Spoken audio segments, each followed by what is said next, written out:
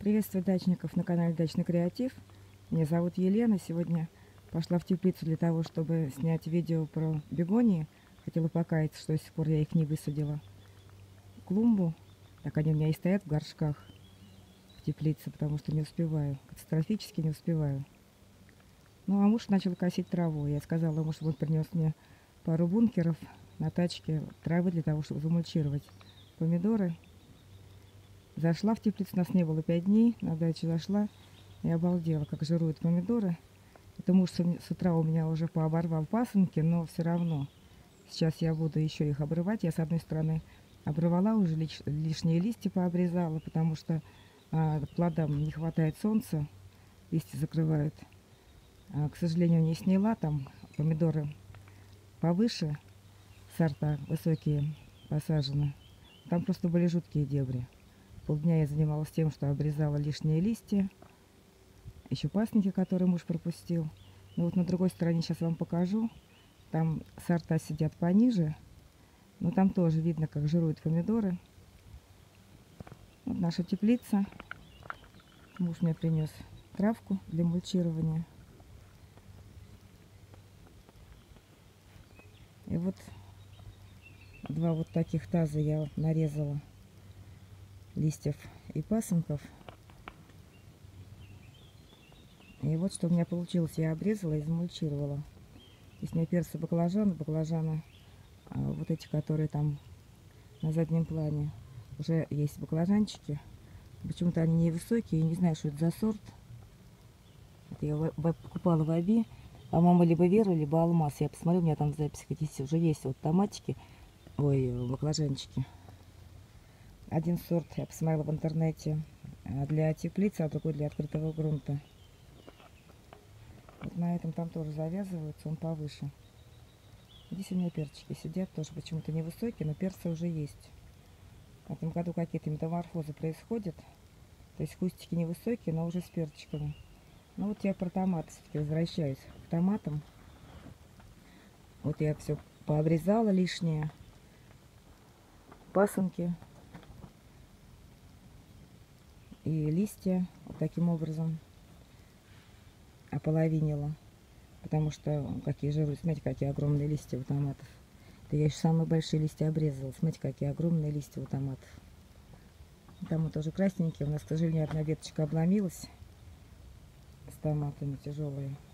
На одной той веточке висела вот, вот эти вот две грозди и обломилась. Но они краснеют там, который большенький уже покраснел. Здесь у меня дебарау красный, вот черный и розовый. Абаканский розовый, малиновая кубышка, дубрава.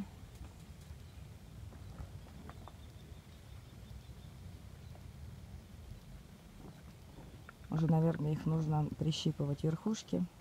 Середина лета. Обычно у нас, конечно, больше томатов потому что, я не знаю даже, что в этом году, жируют они, очень жируют. Смотрите, мульча у меня была, когда мы сажали, мульчировали, смотрите, свою мульчу подъели уже червячки. И здесь я вот сегодня замульчировала заново все. Так что уезжаем, поливать не получается. Но сейчас, конечно, нужно уже сокращать поливы для того, чтобы зрели плоды. Вот они еще цветут много, конечно, еще будут. Они у нас, конечно, томаты до конца сентября здесь прекрасно растут, хотя теплица продуваемая со всех сторон. Вот смотрите, здесь я еще не обрезала не обрывала. То, что муж не дооборвал.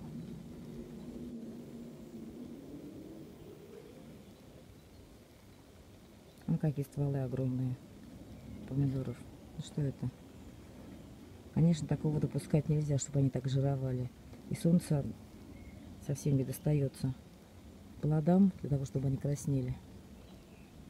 Сейчас я все это буду безжалостно, безжалостно обрезать. Там чибисы.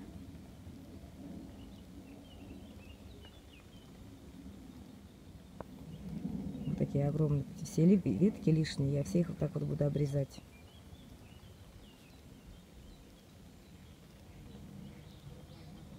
Томаты есть.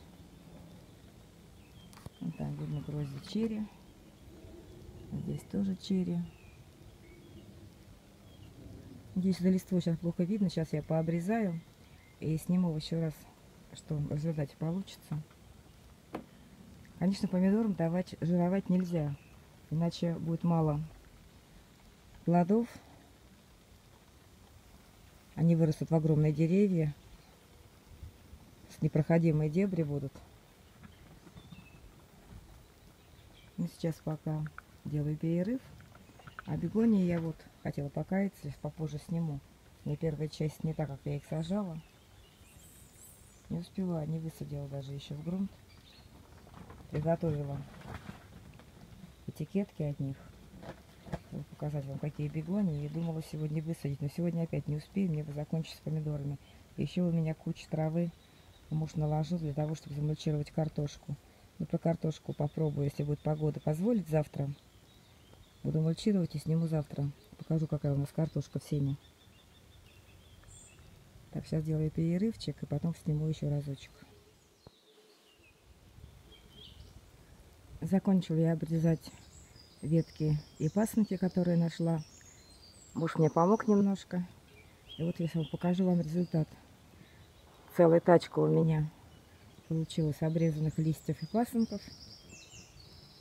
Теплица небольшая, это а, две грядки по 3 метра. И посмотрите, что получается. Стало видно помидорки. Теперь солнышко будет их согревать, и они будут краснеть. Это чибис.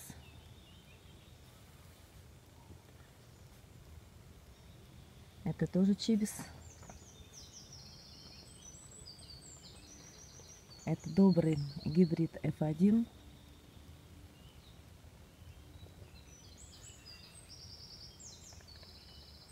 Там тоже добрый гибрид F1. Помидорки уже хорошо видны.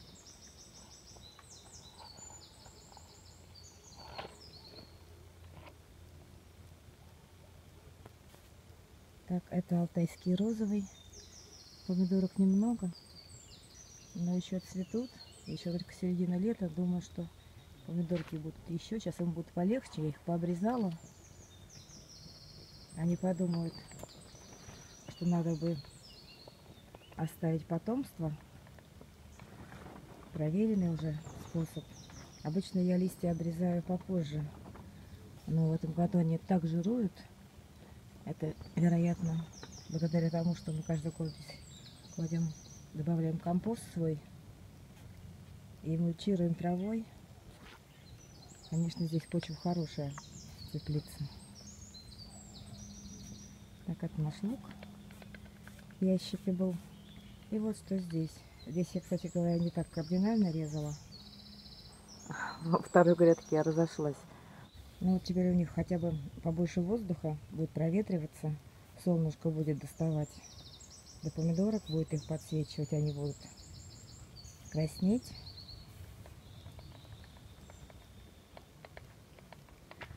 А бегони свои я уже тогда завтра вам сниму. Сейчас замульчирую травой, так же как здесь. Здесь у меня уже травой. Сейчас здесь также замульчирую потому что опять уедем и с поливом. Хотя, конечно, им сейчас, может быть, и не нужно никакого полива. По крайней мере, не так часто. Здесь заодно сейчас покажу салатик. Сейчас буду рвать. Будем делать вечером салат. Здесь у нас закрыты огурчики. Огурчики еще небольшие. Клубника, кстати говоря, еще есть. Мы закрываем от птиц. Клубники в этом году было очень много. У меня было все... Я шучу и говорю, может, что у меня в этом году углеводный удар от клубники. Так, вот здесь у нас огурчики. Они еще небольшие. Но мы закрываем, потому что очень холодные ночи.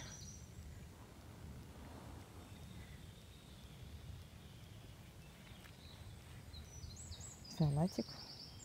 Много, конечно, салат, нам столько не съесть, будем раздавать.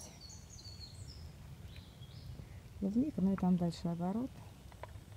Какой же огромный укроп. Там меня ждет трава для того, чтобы мульчировать картошку. Картошку, наверное, сниму завтра. На этом заканчиваю. Всем удачи. В конце ставлю слайд, как я замульчировала эту вторую грядку, чтобы была полная картина. Не забывайте подписываться на мой канал. Всем удачи, хороших урожаев, хорошей погоды. Пока.